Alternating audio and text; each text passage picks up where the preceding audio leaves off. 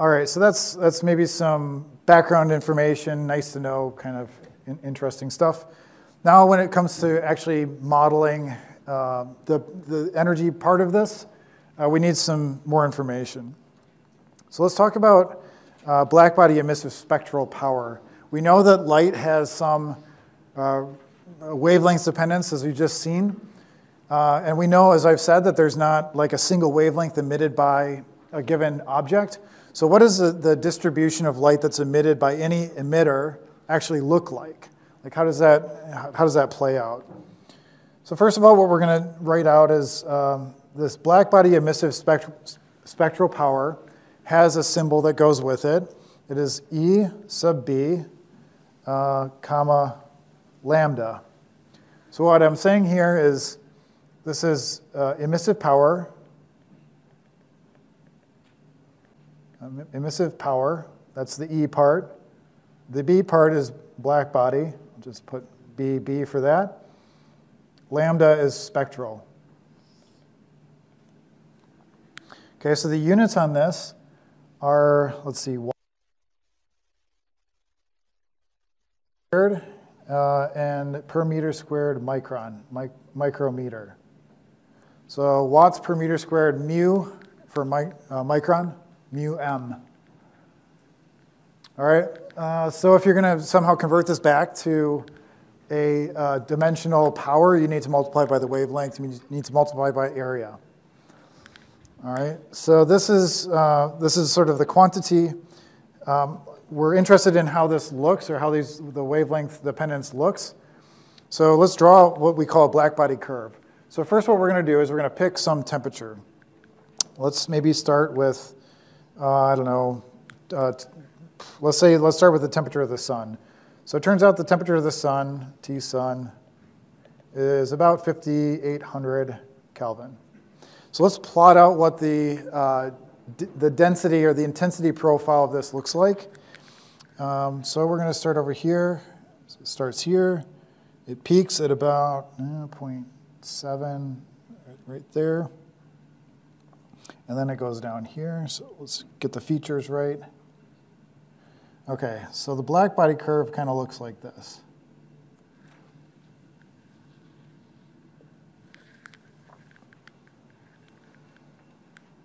You might want to look at the book to get the actual non-squiggly version of that, but uh, that's more or less what it looks like. So you have a distribution, and note that this is a log scale, right?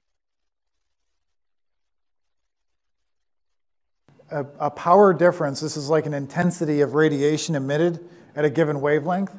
So if we're looking at like the one micron range, one micron's intensity is about one, two, three, four, five, six orders of magnitude higher than so the, the edges of the distribution. So it's a really dramatic uh, change, but the point is that there's a distribution here, right? It's not just a single wavelength. So this is like the, this is like the sun here. So now uh, it turns out that if you're emitting and you're at a lower temperature than the sun, or different temperature, the spectrum changes, right? It makes sense that a colder thing is going to emit less radiation. Um, so you could maybe pick a different temperature. We can maybe pick like 2000. Uh, let's maybe plot that out. So that might look something like this.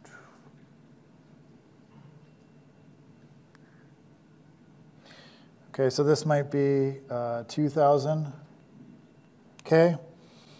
Uh, let's pick maybe 1,000 now. So maybe that looks like this. 500.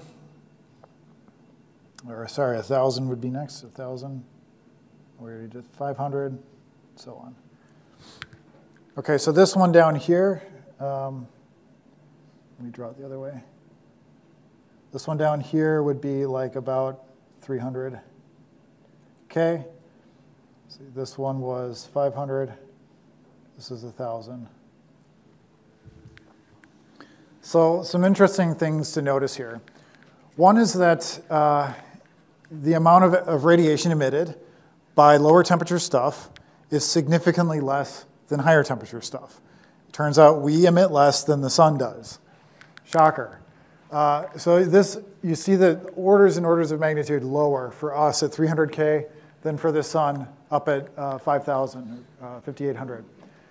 The other thing to notice is that like the, the most uh, likely position for a wavelength uh, of emission changes. So while the sun's most likely position is less than one micron, our most likely position is around 10 microns. So there's a big difference in where the peak radiation occurs. So you get this shift of the distribution from low wavelength to high wavelength um, as you uh, cool off, basically. The other really interesting thing is this. So if I draw a line, um, we'll just see how accurate my drawing was to begin with. So if I draw a line that connects the, the maximum points of each of these um, curves, okay, so I wasn't perfect.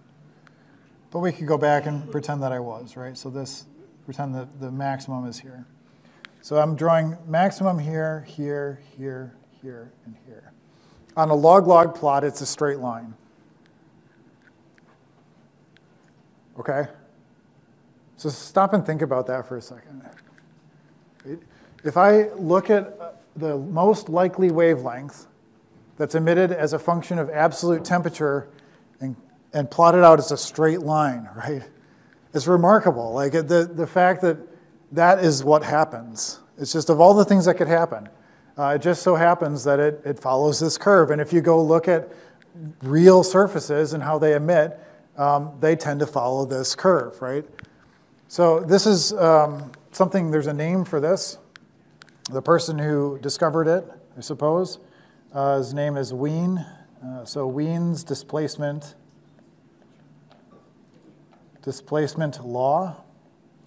Uh, and it basically states that if I take uh, lambda max, that's the, the wavelength at the maximum uh, probability, times the absolute temperature of that surface, it's equal to a constant. And that constant happens to be uh, 2,898 micron Kelvin.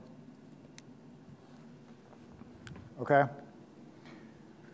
So if you've ever wondered what temperature is, like if somebody ever says, Can you define for me temperature? And you think, Well, it's how hot something is.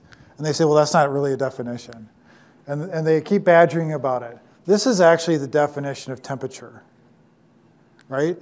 Temperature is a, a measure of the energy state of a surface or of a body. And how do we know that it's uh, uh, sort of the energy state? Well, it's related to the most likely uh, frequency at which it's emitting light. So that's sort of an indication that you, you, if you drill down far enough and look at the atomic level, you could measure sort of the energy state and the likelihood that a photon is going to be emitted. It's going to correspond you know, with this kind of curve. So it's, it's kind of a, um, a cool observation that came out of this. This whole field of study actually is what led to the discovery of um, quantum mechanics, right? Einstein's theories all sort of fell out of this.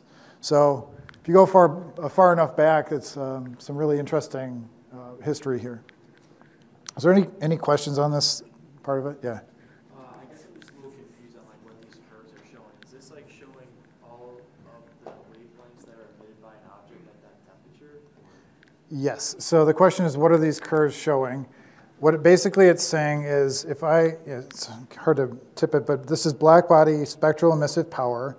So this is like the intensity of light that's emitted per unit uh, meter squared for a given wavelength. So if I was at this, this temperature, my surface was at this temperature, uh, and I was looking at the likelihood or the intensity of light at a specific wavelength, like I'm, I'm a radio transmitter and I only take in a certain wavelength, right? I would read an intensity, let's say here, right? Now, if I change my, my tuner on my radio antenna to a different frequency, it's going to read an intensity up here, right? So it's looking at wavelength-specific intensity for a given surface temperature. And now if I cool off my temperature a little bit and now look at the intensity curve, it's going to follow some other cooler temperature profile. Okay, good question. Okay, um, so, so that's the black body emissive spectral power, just kind of understanding what it is. The curves that I've drawn here, um, while they're not very good drawings, there's actually a, a uh, law that goes along with them. So Wien's displacement law is that line that connects the, the maximum point at each curve. The curves themselves are described by Planck's law. So this is the famous physicist Max Planck, uh, and he, through a great degree, degree of trial and error and working with uh, some others in the field, or basically competing with others, others in the field, came up with this law. So it says EB lambda is equal to some constant, C1, divided by lambda, my wavelength. Remember, this is um, wavelength specific power, so there's, it's going to be a function of the wavelength you choose. So it happens to be lambda to the fifth uh, times exponential of another constant c2 uh, divided by lambda times t, right? and then minus 1 uh, the units again on this are watts per meter squared, uh, micron. And then the constants are as follows. So C1 is 3.742 times 10 to the eighth units watts per micron to the fourth meter squared. C2 is uh, 14388 micron Kelvin. Okay, so if you're ever doing like a regression uh, curve fitting, uh, this is like the ultimate curve fitting. So how the heck they ever decided that lambda to the fifth exponential c2 over lambda t should be the form of the equation, I don't know. But you can go maybe read some books about that. Uh, but they did, they did decide that, and then they found the coefficients that go with it. So this is a, a law that sort of describes the intensity. Um, it's been proved to be, you know, really uh, very accurate for a black body, but again, there's nothing that's truly a black body. So um, one of the ways that they validate this is by looking at things that look like black bodies. Like I said, the cosmic background radiation is one example. Um, okay, so then where do we go with this? So we've got this relationship, this Planck's law, EB lambda, it's this nice function. So ideally, we'd like this to be related to the total radiation in some way. Uh, well, the total black body emissive power, uh, total black body emissive power uh, is, uh, we call EB. Right, so note we've dropped the lambda. It's no longer a function of lambda, or it shouldn't be.